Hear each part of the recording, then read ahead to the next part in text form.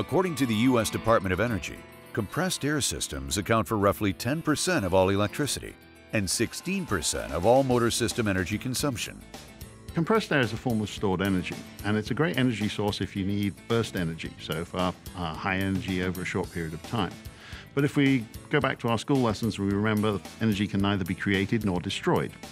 So that means any energy that we're getting out of that compressed air system has to be put in through electrical power uh, on the compressor. But in addition, there's also uh, energy losses from leaks, pressure drop in the system, and the energy transfer of the compressor process itself. 92% of businesses today run on single phase electricity versus three phase. Let's take a likely scenario. Uh, a seven and a half horsepower compressor is all that they could run. Now, if a company needed to run 100 CFM, that would require them to have four seven and a half horsepower compressors running.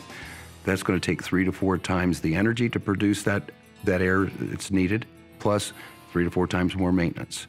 Emax Smart Air has the solution, and that's called Goliath. That's a 25 horsepower compressor running on single phase electricity. Let me repeat that 25 horse on single phase which is going to produce what that company required in one compressor. Think about an air conditioner, 7.5 horsepower.